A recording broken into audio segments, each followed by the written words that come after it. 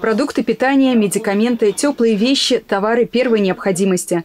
Со временем список расширялся, росло и число тех, кто хочет помогать. В Одинцовском округе активную волонтерскую деятельность с марта 2022 года ведет добровольческое движение «За наших». За это время они оказывали помощь госпиталям, воинским частям, гражданскому населению. Постепенно стали получать запросы на конкретную помощь. Так запустили в работу изготовление ампулиц самоколов. Мы сами делали. Вставляются сюда ампулы. Мало того, они самоколы. Вот так вот моментом откалываются. Угу. Дальше. Вот сюда вставляется шприц. Сейчас мы еще делаем модификацию, чтобы было закрыто два шприца. Угу. То есть сюда вставляется шприц, иглой туда защелкивается. Все, она сохранена. Они одной рукой вот так отщелкивают, вынимают шприц и колят.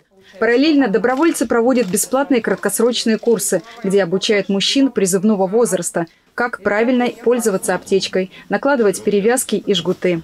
С конца сентября их уже посетили порядка 130 человек.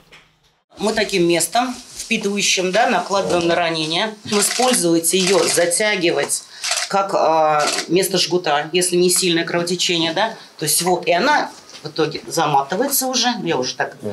буду показывать быстренько. И фиксирующей скобой она закрепляется.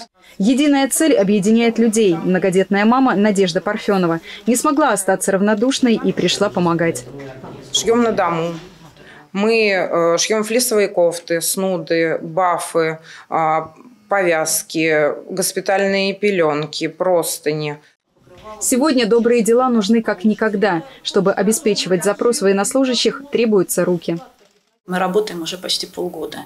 Вот. За этот период основной наш продукт – это носилки ФАМА-180. Сейчас мы переходим на носилочки ФАМА-215. Это просто ну, чуть больше размер.